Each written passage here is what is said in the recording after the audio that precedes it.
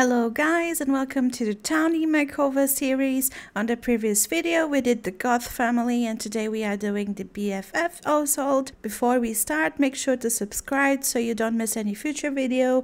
Give this video a like um, and comment who do you want to see next.